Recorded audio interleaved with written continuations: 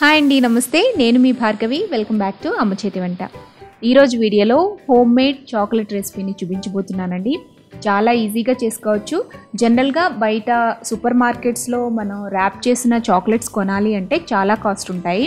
బర్త్డేస్కి కానీ లేదా సెలబ్రేషన్స్కి కానీ ఏదైనా అకేషన్స్కి కానీ ఇలా సింపుల్గా తక్కువ ఖర్చులో గ్రాండ్గా చాక్లెట్స్ని మన చేతులతో మనమే ప్రిపేర్ చేసుకోవచ్చు. అదేలాగో క్లియర్గా నేను ఈ వీడియోలో చూపిస్తానండి. చాలా సింపుల్ అండి. జస్ట్ కొన్ని స్టెప్స్ని ఫాలో అయితే సరిపోతుంది. మరి లేట్ చేయకుండా యమ్మీ యమ్మీగా డెలీషియస్గా టేస్టీగా ఉండే హోమ్ మేడ్ చాక్లెట్స్ని ఎలా చేసుకోవాలో చూసేద్దాం. ఫస్ట్ ఈ చాక్లెట్స్ ప్రిపేర్ చేసుకోవడం కోసం కొన్ని కొనుక్కుని పెట్టుకోవాలండి. అవి చాలా తక్కువలోనే మనకి అమెజాన్లో దొరికేస్తాయి.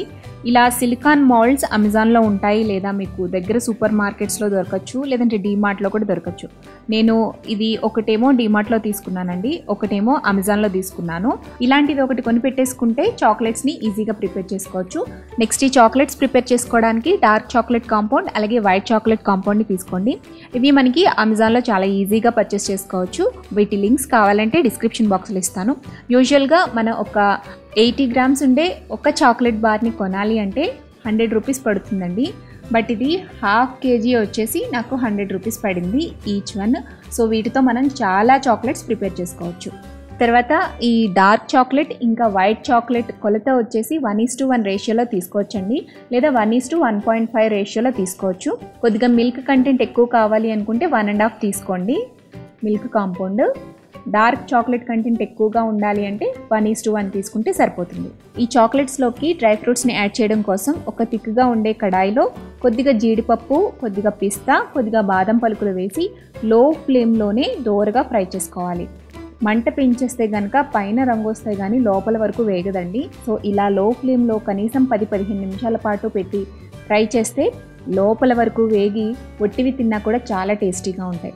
సో అలా ఫ్రై చేసుకున్న తర్వాత వీటిని ఒక బౌల్లోకి తీసుకుని పూర్తిగా చల్లారుకొనివ్వండి. ఇప్పుడు నెక్స్ట్ స్టవ్ మీద ఒక గిన్నెలోకి హాఫ్ వరకు నీళ్ళు పోసి ఈ వాటర్ని రోలింగ్ బాయిలింగ్ అయ్యేంత వరకు మరిగించండి. నీళ్ళు ఇలా మరుగుతున్నప్పుడు దీనిపైన ఒక బౌల్ని పెట్టుకోవాలి. గాజు బౌల్ అయినా పర్వాలేదు స్టీల్ బౌల్ అయినా పర్వాలేదు. ఇప్పుడు మనం తీసుకున్న డార్క్ చాక్లెట్ కాంపౌండ్ని అలాగే వైట్ చాక్లెట్ కాంపౌండ్ని చిన్న చిన్న పీసెస్లా కట్ చేసుకుని ఇందులోకి వేసేసేయండి. మంటని మీడియం ఫ్లేమ్లోకి అడ్జస్ట్ చేసి ఇలా స్పూన్తో మిక్స్ చేస్తూ ఉంటే చాక్లెట్ అనేది ఒక ఫైవ్ మినిట్స్కి పూర్తిగా మెల్ట్ అయిపోతుందండి.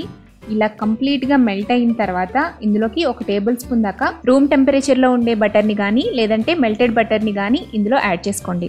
బట్ ఫ్రిడ్జ్లో పెట్టిన బటర్ని మాత్రం ఇందులో వేయొద్దండి. అలా వేస్తే చాక్లెట్ అనేది గట్టిగా అయిపోతుందన్నమాట. బటర్ మీ దగ్గర లేకపోతే స్కిప్ చేసినా పర్వాలేదు. బట్ బటర్ వేస్తే ఏంటంటే సిల్కీ టెక్స్చర్ వస్తుంది టేస్ట్ బాగుంటుంది అలాగే కన్సిస్టెన్సీ అనేది కొంచెం థిన్గా అవుతుంది అనమాట సో బటర్ వేసిన తర్వాత జస్ట్ టూ మినిట్స్ పాటు ఉంచి ఆ తర్వాత స్టవ్ ఆఫ్ చేసేసుకోండి. ఇప్పుడు ఈ చాక్లెట్ సిరప్ని మౌల్స్లోకి వేసేసుకుందాం. ప్లెయిన్ చాక్లెట్ కావాలి అంటే మౌల్స్లో ఫిల్ చేసేసేయండి. లేదు ఇలా డ్రై ఫ్రూట్ చాక్లెట్ కావాలి అంటే ఫస్ట్ కొద్దిగా చాక్లెట్ సిరప్ వేసి డ్రై ఫ్రూట్ని పెట్టి పైన చాక్లెట్ సిరప్తో ఫిల్ చేసేసేయండి.